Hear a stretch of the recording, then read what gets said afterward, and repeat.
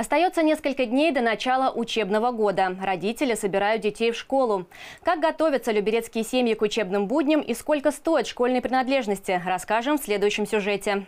В эти дни многие семьи начали подготовку к новому учебному году. Мама Анна Демчук с дочерью Екатериной закупаются школьными вещами. Начинают с формы. На 1 сентября школьница выбрала нарядное платье.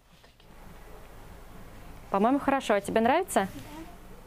Покупаем. Цена 3000 рублей. Можно найти дешевле, но сложно отказать ребенку. Девочке так хочется произвести впечатление на одноклассников. Далее за констоварами. При таком разнообразии трудно определиться с выбором. Детям хочется купить все, а родителям сэкономить семейный бюджет.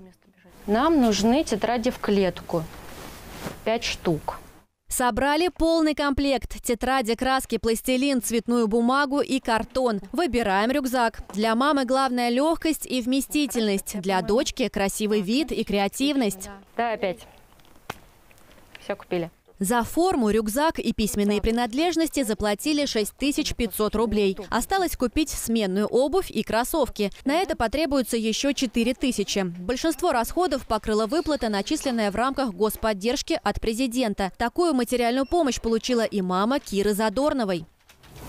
Вот так вот я планирую пойти на линейку 1 сентября. Школьница перешла в восьмой класс. Это еще не старшая школа, но уже серьезный этап. Кира немного волнуется. Для уверенности первым делом обновила учебный гардероб. Недавно ходила в магазин, купила вещей, одежду.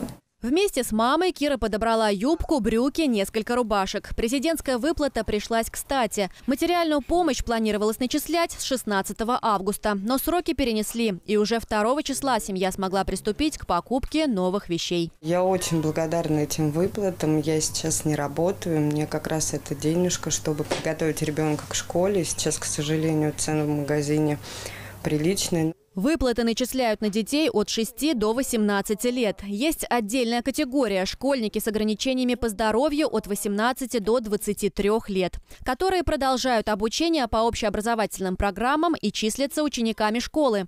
Их родители тоже имеют право на материальную помощь.